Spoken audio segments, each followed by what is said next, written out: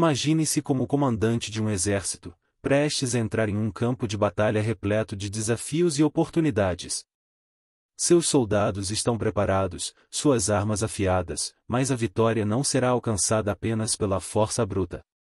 Aqui, a sabedoria de Sun Tzu em A Arte da Guerra torna-se crucial, a movimentação eficaz de suas tropas é essencial para dominar o campo de batalha.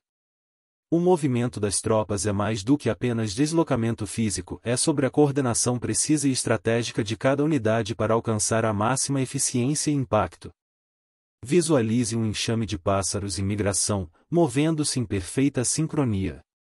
Cada pássaro sabe seu papel, seu lugar, e a formação permite que eles economizem energia e avancem juntos de forma eficaz. Da mesma forma, um exército que se move em uníssono, com cada soldado compreendendo sua posição e função, pode superar desafios aparentemente insuperáveis. No mundo corporativo, essa lição é igualmente poderosa. Considere uma empresa lançando um novo produto. Não se trata apenas de ter uma equipe talentosa, mas de como essa equipe é coordenada e movida para enfrentar o mercado. Cada departamento, a marketing, vendas, produção, deve trabalhar em harmonia, sincronizando seus esforços para maximizar o impacto. A movimentação eficaz das tropas empresariais pode significar a diferença entre um lançamento bem-sucedido e um fracasso. Imagine uma equipe de resgate em uma missão de emergência. Cada membro tem um papel específico, e a coordenação precisa de seus movimentos pode salvar vidas. Eles não apenas correm para o perigo, eles se movem com propósito e estratégia, garantindo que cada ação contribua para o objetivo maior. Esse nível de coordenação e estratégia é essencial em qualquer esforço onde o tempo e a eficácia são críticos. Na vida cotidiana, a movimentação eficaz de suas tropas pessoais, seja sua família, amigos ou colegas, pode transformar situações desafiadoras em oportunidades de crescimento e sucesso. Pense em organizar um grande evento, como um casamento ou uma conferência.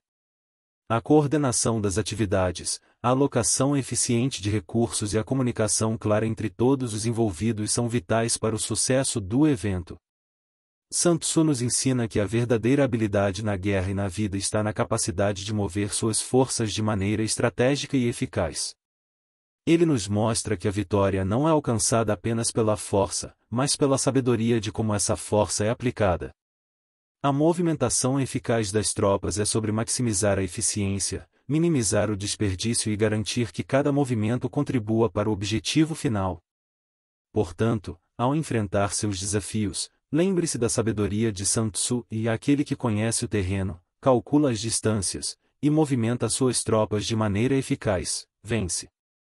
Use essa arte da movimentação estratégica para coordenar suas ações, seja em seus projetos profissionais, pessoais ou comunitários. Ao fazer isso, você não apenas alcançará seus objetivos, mas também inspirará e liderará suas tropas com precisão e propósito.